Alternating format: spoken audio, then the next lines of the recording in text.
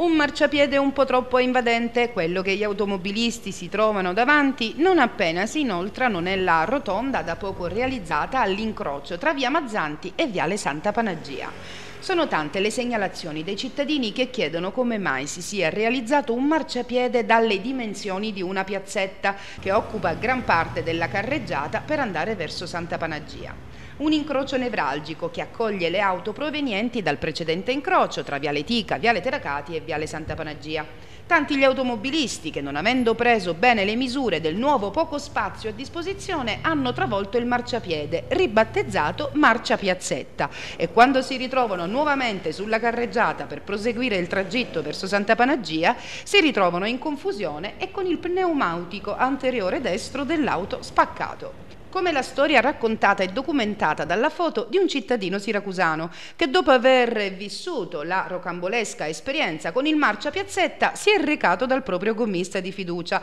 Sul posto ha spiegato come la ruota sia arrivata a tale risultato e il gommista, per niente estranito, risponde che tanti dei suoi clienti arrivano reduci da quell'invadente marciapiede di Viale Santa Panagia. In pratica per passare il tratto di strada in questione bisogna fare una veloce e forzata sterzata piazzata sulla sinistra per evitare di trovarsi parcheggiati sopra il marcia piazzetta che occupa gran parte della carreggiata. Lamentele anche per l'altra corsia, all'altezza del supermercato, i cittadini lamentano anche in quel caso una carreggiata troppo stretta per far fluire correttamente il traffico. Lavori effettuati per evitare incidenti e smaltire il traffico in quell'incrocio tra via Mazzanti e viale Santa Panagia, ma sono in tanti a chiedersi il perché di un marciapiede così ampio che invade gran parte della strada.